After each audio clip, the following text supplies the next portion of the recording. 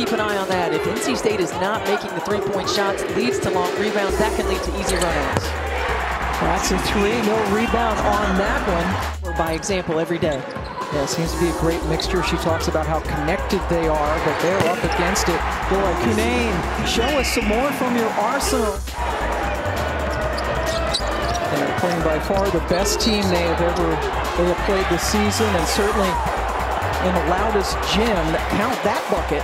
And in transition is where they excel. You have to pick up the ball a little higher than that. Deja Kelly does such a good job of attacking the...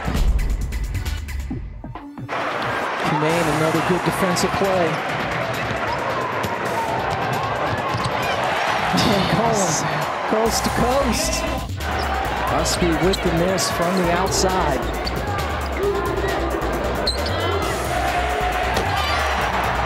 Second three of the night for Elissa Cunane.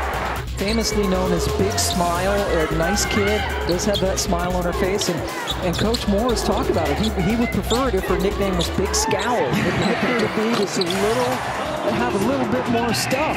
Adams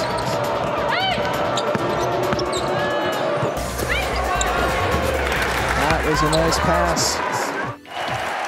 They were outstanding tonight. Certainly offensively, the balance, the execution, they were terrific. And they hold North Carolina to a season low and scoring less more gets the